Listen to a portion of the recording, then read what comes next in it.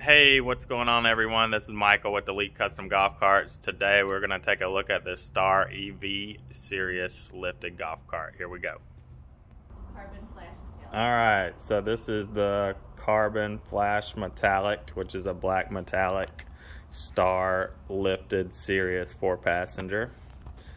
Um, lots of features on this thing, very uh, decked out cart.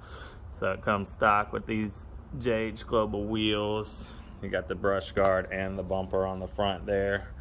Pretty cool little LED headlights. These actually have a built-in cooler uh, in the front and it's actually pretty well insulated with the drain in there as well.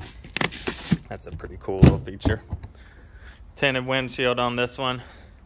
Uh, premium diamond stitch seats. We've done the upgrade to the Eco lithium battery. Uh, fits really nicely down in, inside the battery tray there. Um, this is going to be your cup holder area. Four large cup holders right there. Uh, USB charger, rabbit and turtle mode, cigarette lighter plug. Right there you got your locking glove box and it actually has little LED lights on the side.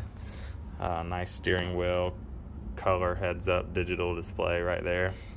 Got your headlights, blinkers, everything right here